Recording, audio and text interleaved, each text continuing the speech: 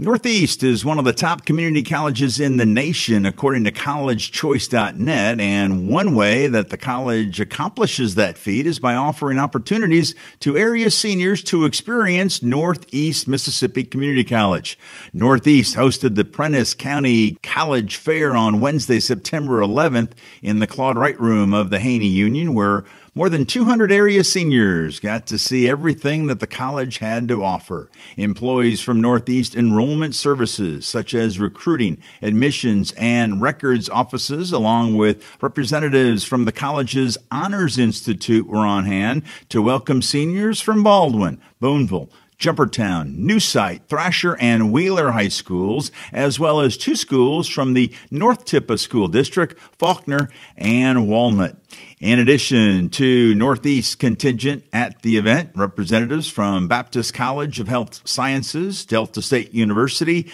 Mississippi State University, Mississippi University for Women, Nossi College of Art in Nashville, the University of Mississippi at Booneville, the University of Mississippi at Oxford, the University of Southern Mississippi, and the University of West Alabama, along with area businesses such as Farmers and Merchants Bank, First American National Bank, Renaissance Bank, and Sheriff Randy Tolar and the Prentiss County Sheriff's Department were all on hand at the college fair.